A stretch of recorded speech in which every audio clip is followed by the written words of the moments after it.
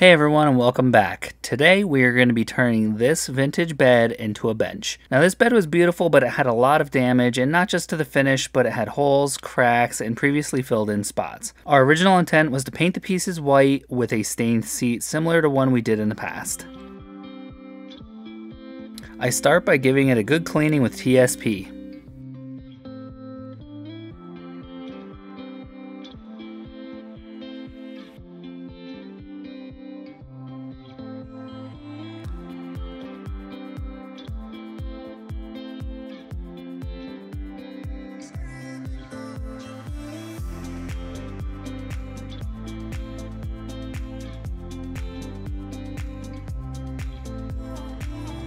I measure out for my cut on the footboard, which will be the armrests.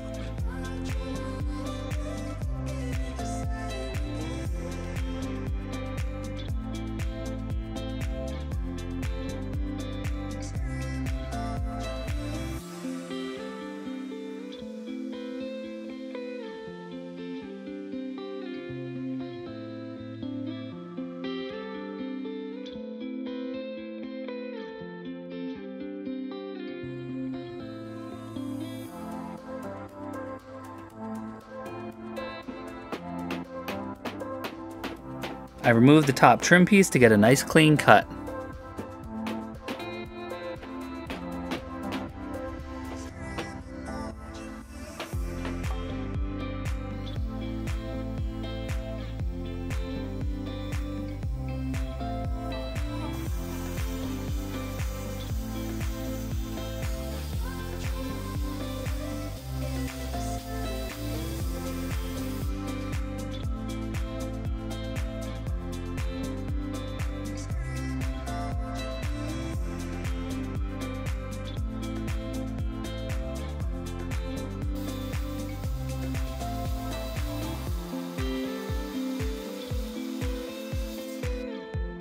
Next, I patch some of the damage and holes before scuff sanding the entire piece.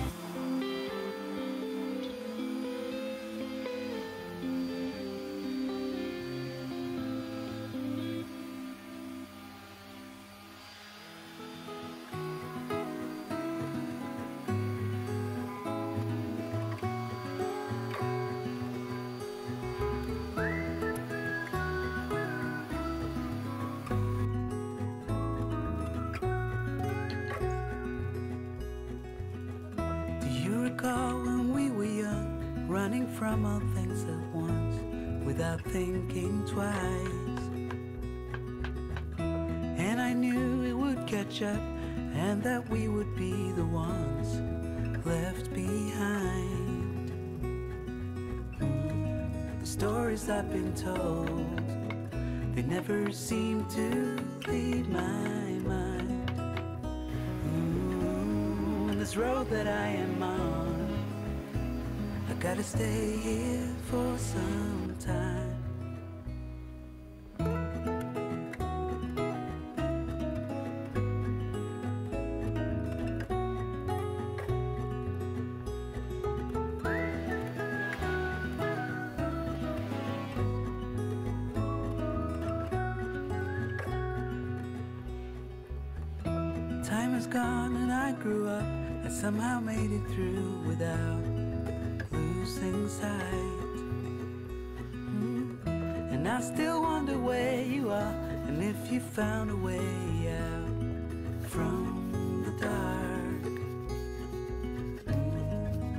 Stories I've been told. They never seem to leave my mind. Mm, on this road that I am on, I gotta stay here for some time.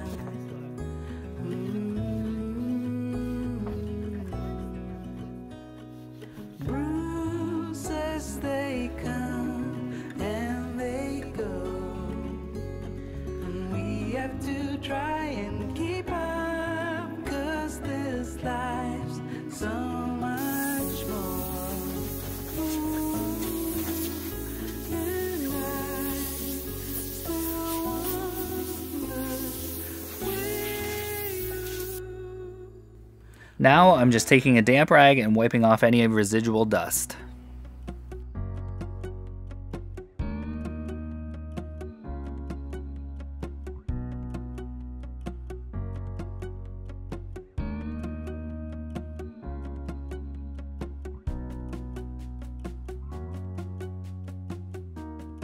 And one thing I forgot to take into account was the actual bench depth.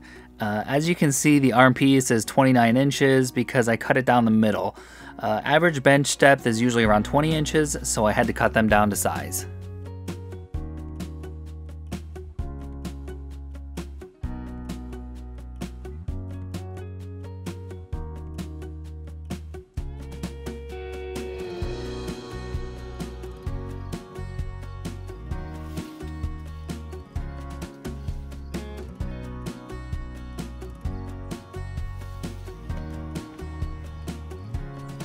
Next, I measure out the distance on the thicker panel board so that I can attach the arm pieces from the back of the headboard.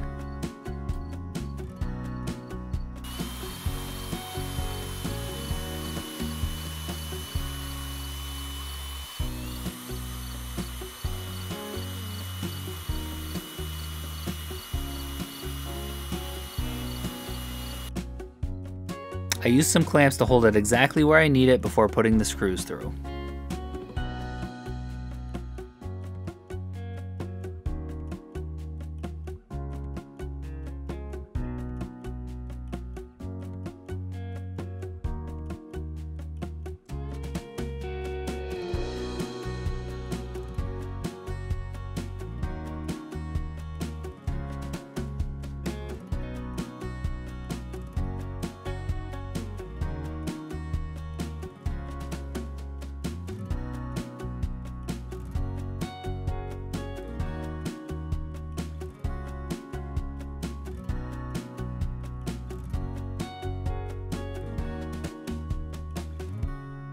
So for the frame, I'm using a 2x4 for the rear piece and a 2x6 for the front.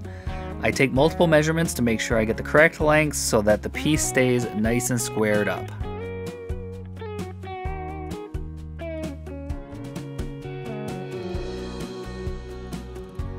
So as you can see, I started losing daylight, but I had to get those pieces attached to help support the arms or else they could bend and rip the screws out while we were moving it.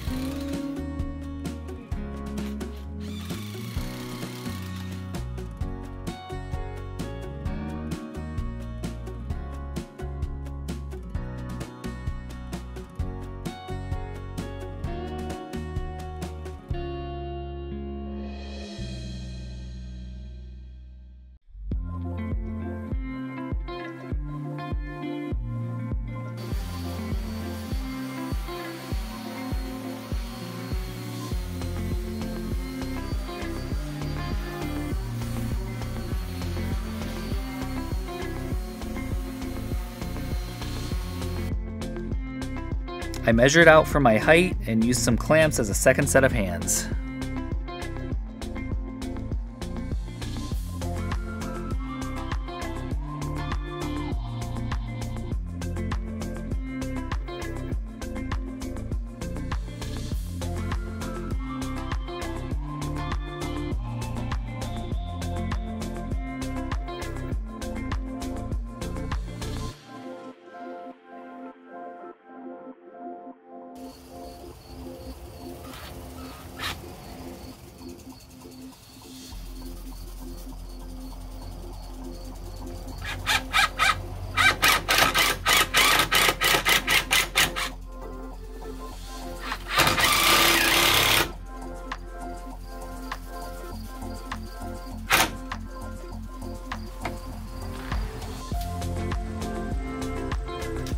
Then I move on to the rear piece.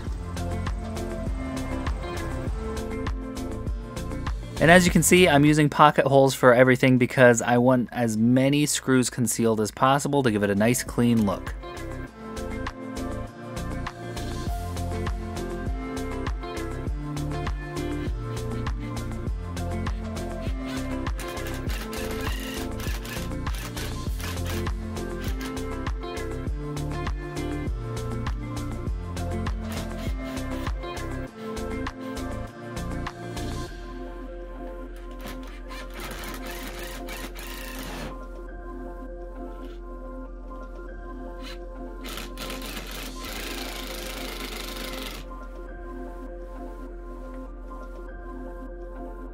I install a few additional pieces for support and just to give something to attach the seat to.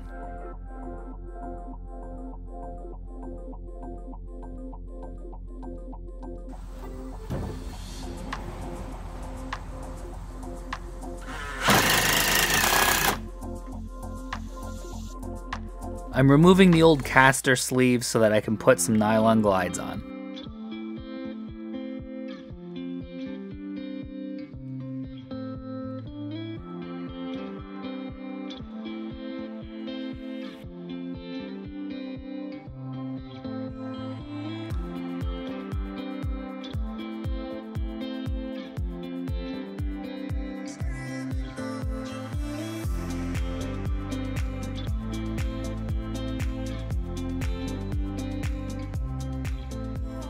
This is going to be more of a rustic piece, but I'm going to go back and fill in some of these unnatural dings and chips with Bondo.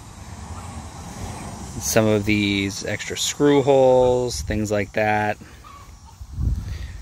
Obviously, parts like this. I want these smooth. Those don't really add too much to the character, so I'm going to fill those in so they get nice and smooth with Bondo.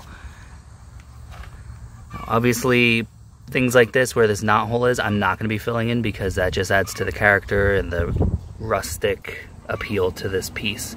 So I will be letting spots like that go. I'm just going to fill in the other spots. Now, it is very hot out today, so I am going to have to work very fast with the Bondo because it dries quickly to begin with.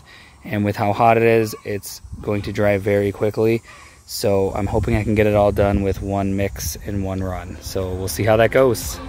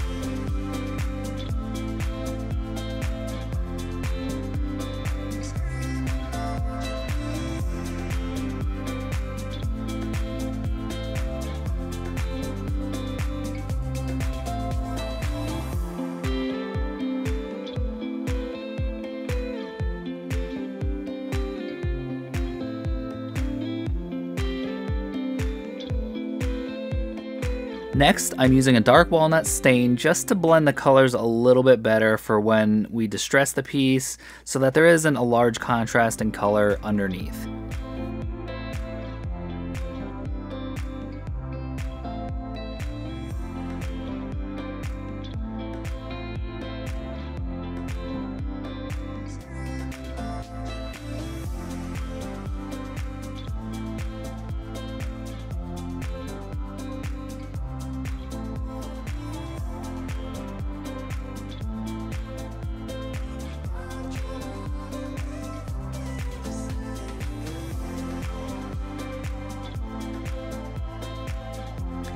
And here's where the problem started, in a good way.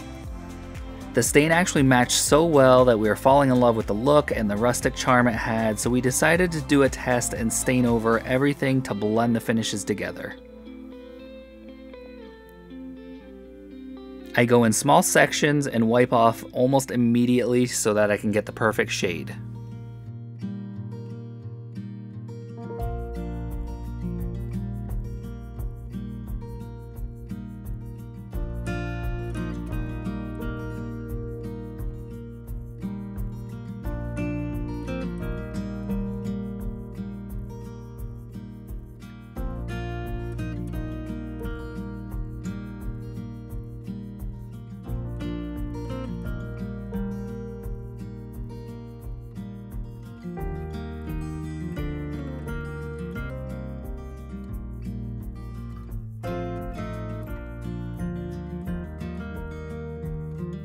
And we loved the way it turned out with its revitalized but original charm and the character of the blended finishes and stains.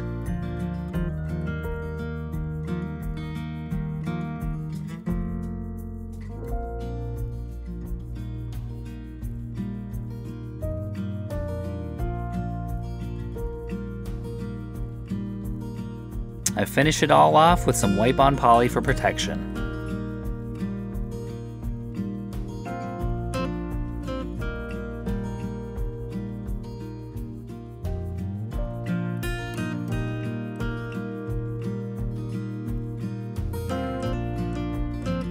Next, I'm using some old barn boards for the seat.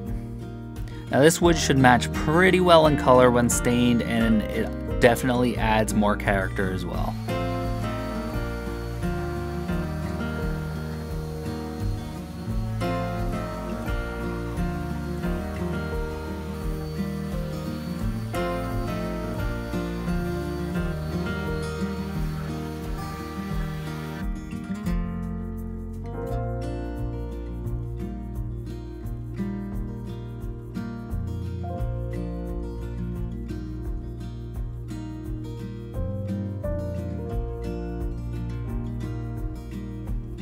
I'm notching out the front and back boards to account for the leg pieces.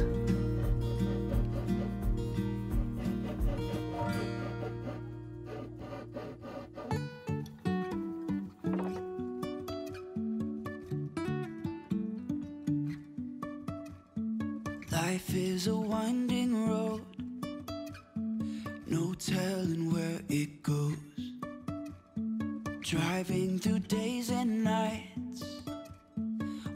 stop for traffic lights.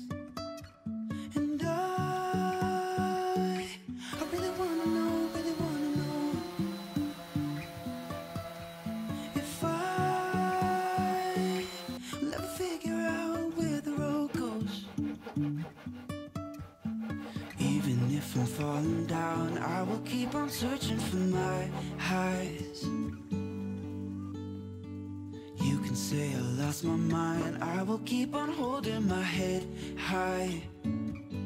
Even if the sky is falling down. And I dry fit them for good measure and then stain.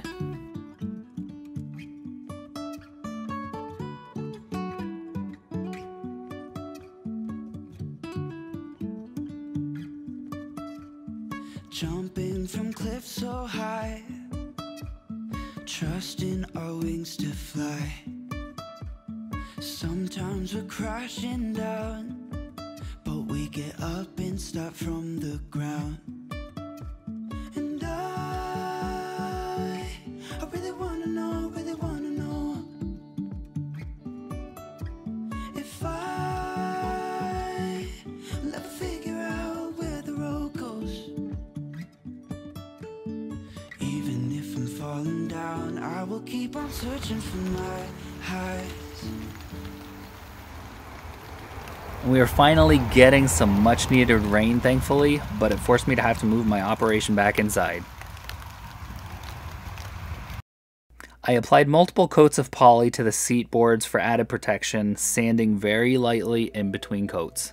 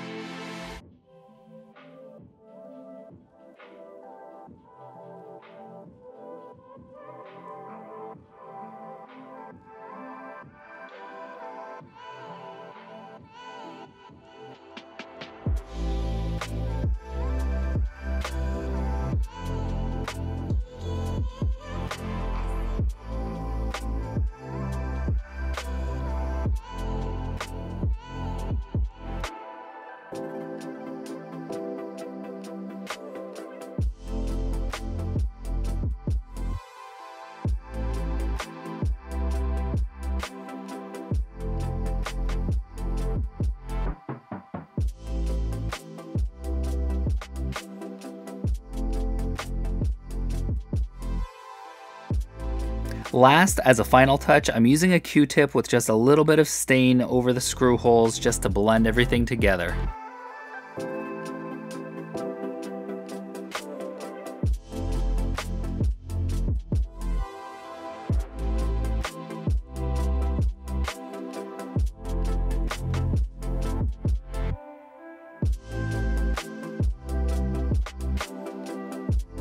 And that is it. We hope you all love how this turned out as much as we do. This is another example of making decisions as you go.